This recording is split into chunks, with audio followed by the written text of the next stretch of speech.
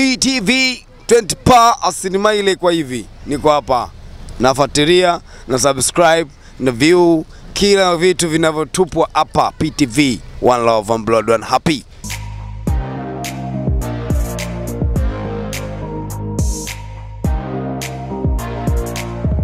Na kila nikitafuta Batuli Batuli naambiwa upatikani kabisa kwenye simu. Hapana, sio kweli. Not reachable. Muda mwingi sana nimekuwa nikutafuta Batuli Batuli upatikani kabisa. Batuli nimekuona Basata, kulikoni?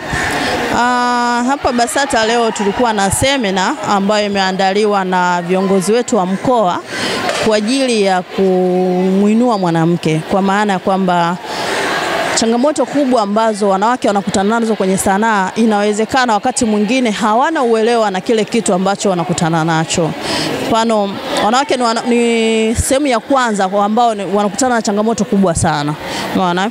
Sasa viongozi wetu waliliangalia hilo kwa mapana zaidi, na ndio maana wakaandaa semina ili wanawake wa mkoa wa Dar es Salaam wote, ikitokea wilaya zote tano, waweze kupata hii semina ili waweze kujifunza kitu fulani, hata wanapokwenda kukutana na hizo changamoto, basi wajue ni jinsi gani ya kuweza kuzikabili. Mambo gani ambayo mnayafanya mpaka Basata wanaamua kuwaita hapa kuwakusanya na kuwapa elimu zaidi? Fanya mambo gani?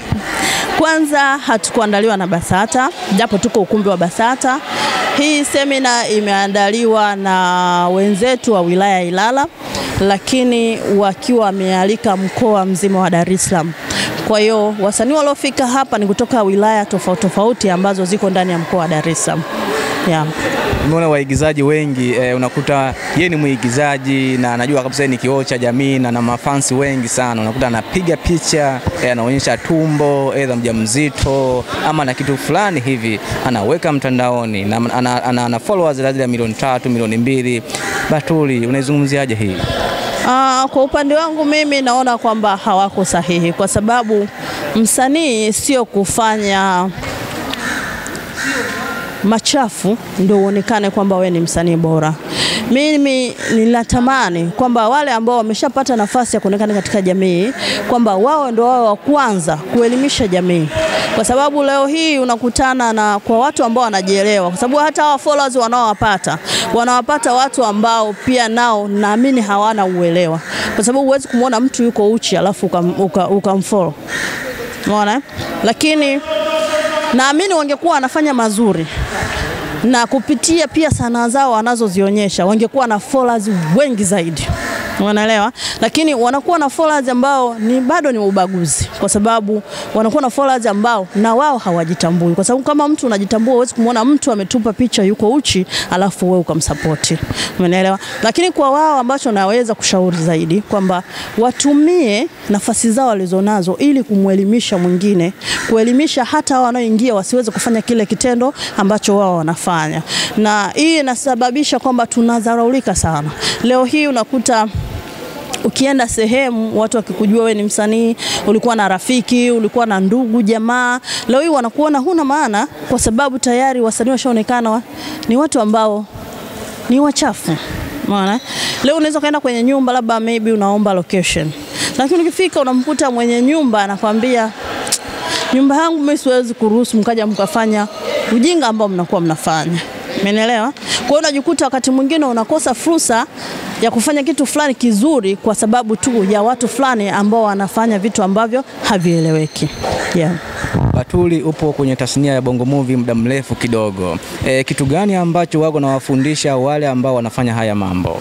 Um, mi niko kwenye hii industry kwa muda mrefu, kwa, kwa miaka mingi zaidi ya miaka ishirini.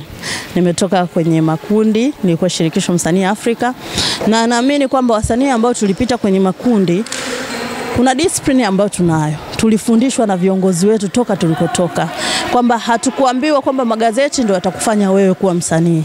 Hapana, tuliambiwa kazi bora utakayofanya ndio itakufanya wewe kuwa msanii.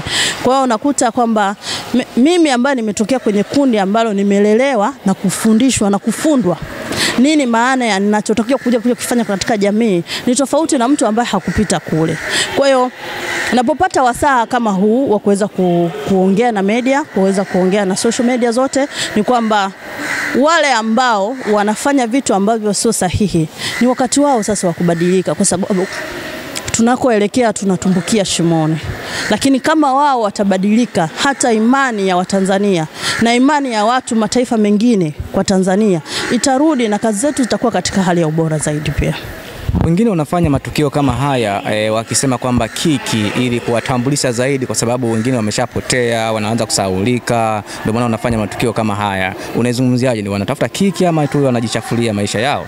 Uh, kwenye, kwenye hii kiki inakuja katika pande mbili. Kuna ambaye anafanya kiki ili aweze kutambulika, na msanii huyu anayefanya hivyo, tunajiuliza kuna aina tatu ya msanii. Kuna mwingine anakuja kwenye industry kwa sababu anamuona fulani yuko pale, umeelewa, anataka kuwa kama yeye. Kuna mwingine anataka kutambulisha kujitambulisha kwenye sanaa kwa sababu tu ya maslahi yake binafsi.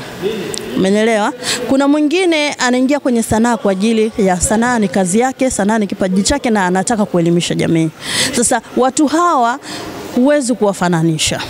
Sawa? Huwezi kufanya kwamba wote ni kitu kimoja, wote wanaenda kutafuta ku- kufanya industry yetu ikue. Unaelewa? Kwa hiyo unapokutana na, na, na, na, na mtu kama huyo lazima kwanza utambue yeye ameingia kwenye sanaa kwa lengo gani. Na kwa hawa ambao wanatafuta kiki, ambao la- pengine labda wana majina makubwa, lakini bado wanaendelea kutafuta kiki, mi naamini ni uelewa mdogo, na wanafanya kwa sababu ya kufanya jina lake liendelee kuwepo, kwa sababu kama ungekuwa unafanya vizuri kwa kazi na watu wanakutambua kwa ajili ya kazi, siamini kama una haja ya kutafuta kiki ili Watanzania waendelee kukumbuka kwamba wewe upo. Lakini ungefanya kazi nzuri. Tuna wasanii ambao tu, mfano kama leo tulikuwa na Mzee Jangala hapa, kuna kina Da Zawadi, wasanii wa zamani sana. Ni kwa nini mpaka leo bado wanatambulika na Watanzania? Unielewa? Ni kwa sababu wao walifanya kazi, hawakupata yale majina kwa sababu ya vitu fulani. Umeelewa? Japo tofauti inakuja kwamba ukimtazama yule ambaye anafanya kazi kiuhalali hayuko vizuri mfukoni kama huyu ambaye anafanya kazi kupitia kiki. Yeah. Kuna waigizaji wengine wa kike kama wewe eh, kuna wadogo zako, dada zako, unakuta eh, umri umeenda, lakini anaingia kwenye mahusiano na vijana wadogo ambao yani huyu uh, unasema mbona "Mm, kama hapa kigugumizi kidogo. Uh, mimi hiyo naamini ni tabia ya mtu, kwa sababu hata angekuwa sio mwigizaji angekuwa pengine mtaani kwake anafanya shughuli nyingine, ni mwajiriwa, ni mfanyabiashara, angefanya vitu hivyo anavyovifanya. Kwa hiyo mimi naamini ni tabia ya mtu, sio kwa sababu ameingia kwenye industry ndo ana, anatamani kutoka na vijana wadogo yeah. Kitu gani ambacho wagu nazingatia ili kuhakikisha kwamba jina lako halichafuliwi? Atuli. Kwanza nazingatia sana vyombo vya habari hususan magazeti. Magazeti ni mazuri kwa msanii, lakini wakati mwingine magazeti sio mazuri kwa msanii, ikiwa tu wewe msanii una unalitumiaje lile gazeti. Ukitaka lile gazeti likutumie vibaya, basi litakutumia vibaya, lakini kama utataka lile gazeti likutumie vizuri, litakutumia vizuri. Yeah. Kuna kitu gani kipya 2021? Uh, nina tamthilia mpya ambayo nategemea itatoka mwezi wa sita. Andaa wewe au umeshirikishwa? Nimeshirikishwa ila mi nimecheza kama mhusika mkuu. Napenda sini aina gani? Ya ile ya mapenzi ama tu ya ama mama wa ndani ama mama wa Mimi ni msanii na msanii ni Jalala. Sini yoyote ambaye director au yenyewe itanihitaji mimi kucheza, basi nitaicheza kama ambavyo inanihitaji. Yeah. Shukrani sana. Asante sana. PTV Tanzania. Okay, nashukuru pia kwa. Kaa nyumbani search PTV Tanzania. Okay, asante sana. Piga jingo. Eh, unajitaja jina lako, unaitwa fulani, ni mwigizaji wa Bongo Movies na nini, naangalia PTV Tanzania. Okay. Uh, naitwa Zaituni Amadi Kibwana kwa jina la sanaa anatambulika kama Batuli. Ni mpenzi na pia huwa anapenda kuifuatilia sana PTV Tanzania. Naamini kwamba watu wote angalieni PTV Tanzania, mtakutana na mambo mazuri. Asante sana. PTV 20 pa asilimia ile kwa hivi, niko hapa nafuatilia na subscribe na view kila vitu vinavyotupwa hapa PTV, one love, one blood, one happy.